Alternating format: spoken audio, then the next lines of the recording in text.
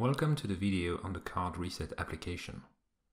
The purpose of the application is to enable our customers to perform an online authorization on the cards that we provide. This means that even if you do not have access to an authorization host, you can still reset our card's offline counters. The application also reactivates the offline PIN presentation feature on cards where the PIN was blocked. The card reset application is intended to be used with the cards provided by merchant test cards only. It should never be used with live production bank cards because that could lead to the card being blocked or to the issuing bank identifying fraud attempts. The start of this video is the user's guide. The video also contains an installation guide which starts a bit later. All that you need in order to use the application and reset the cards is a computer and a USB chip card reader. This is usually referred to as a PCSC card reader. In this video, we use the STI-011 smart card reader, which you can easily buy on the internet. This is an expensive reader. You should be able to find readers for 15 to 20 euro on eBay or Amazon. In our example, we use a Windows PC, but the Python source code is also provided, which means that it can also be run on a different operating system, such as Linux. The first step in order to use the card reset application is to insert one of the cards into the reader. Then simply execute the application and let the magic happen. The application runs a transaction on the card and performs an online authorization. When it's finished, it's indicating that the transaction was successful which means that the counters and the pin are reset. Then simply press enter to close the application and remove the card from the reader and that's it. You can then do the same thing with another card, inserting it into the card reader and then running the application and the same thing happens on this different card.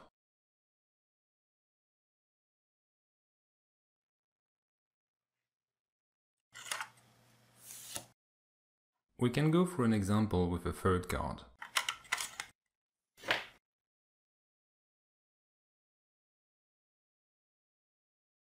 And now this card is reset as well.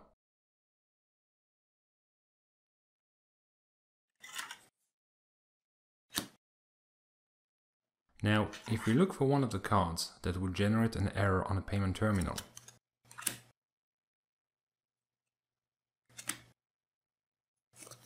the card where the application is blocked, for instance, and insert it into the card reader. If I run the application with this card, the application can see that the card is blocked and does nothing with it.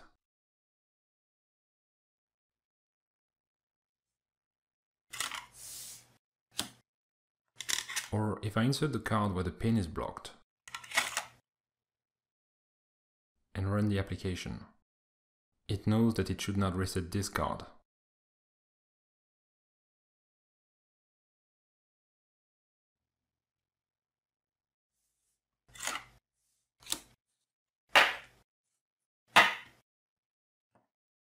Now that we have seen how to use the application, let's have a look at how to install it on the computer.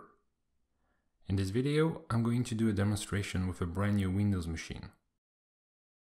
The steps for installation are, first of all, to download or copy the zip file onto the machine, then to unzip the folder, and finally to create a shortcut on the Windows desktop. So step 1, simply follow the download link from our website or from the installation and users guide.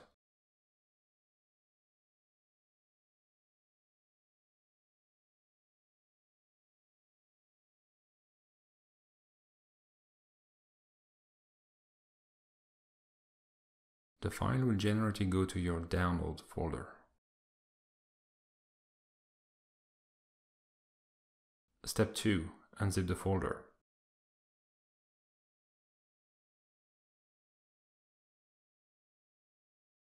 I'm simply going to extract it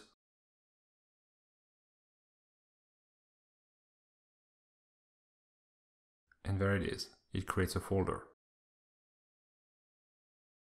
And in the folder is the application executable file.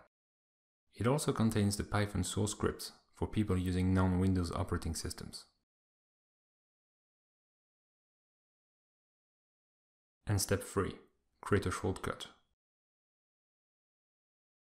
Simply right-click on the application to copy it and paste it as a shortcut on the desktop.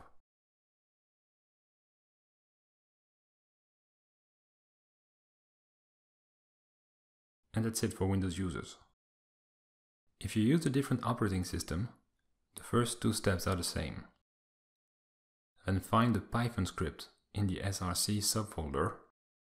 Ensure that the version of Python 2.7 is installed on the machine. Install the following Python packages wheel, PyScard, and PyCrypto. And finally execute the script that's named cardreset.py. Now, in order to run transactions with that computer, we need to connect the smart card reader. So that's Windows finding and installing the driver for the card reader. This can actually take a few minutes. I'm now going to check that it's properly installed by opening a file explorer, going to this PC, clicking on the computer tab at the top, and going into Systems Properties. In there, I'll select the device manager on the left and expand the smart card readers list. So, depending on the reader that you have, the name might be different but you need to be sure that there is an entry in this list. And finally, we can run the application to make sure that it works. So I'll start by inserting a card into the card reader. And on the PC, I'll double click on the shortcut I created. The first time you run it on Windows 10, it might inform you of a security risk. Just click on More and then run anyway. That opens a command prompt which runs an online transaction on the card and lets me know the status at the end.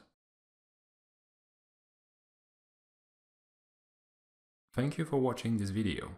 I hope that everything worked out for you.